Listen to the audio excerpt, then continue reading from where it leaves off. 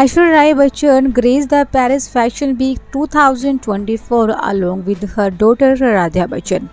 The stunning actress, who never ceases to amaze her fans, walked the ramp in a voluptuous red-colored balloon dress. The floor-length gown had a hem at the bottom and a long train attached to it. The long train had the words "We worth it."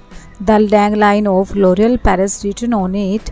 Aishwarya Rai completed her attire with glam makeup, red lipstick, and loose waves. Social media is filled with glimpses of the actress walking the ramp despite the uncomfortable dress with the hemline at the bottom, which restricts a comfortable walk. Aishwarya Rai oozes confidence. Well, how do you like Aishwarya Rai's Paris Week Fashion Week look? Please let me know in the comment section. And also hit the subscribe button for more latest Bollywood updates. Thanks for watching.